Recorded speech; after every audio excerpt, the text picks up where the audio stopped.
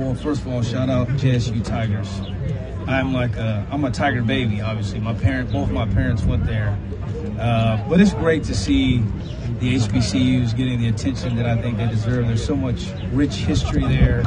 Um, you know, you look at kind of the trajectory of those schools.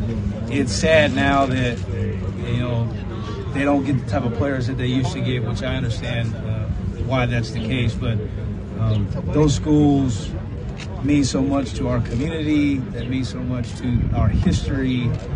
And, uh, you know, it was great that they're starting to get the attention that they deserve. Obviously, it's great having Isaiah here. Um, but, you know, I know you asked my parents, um, they wouldn't be who they are without that school. Of our family, friends, and family have been there and to other HBCUs. So uh, they play such a pivotal role in who we are as a people and in our past. And, uh, you know, I, I, think it's great to celebrate. Thank you. Yeah. Matthew, as you get to the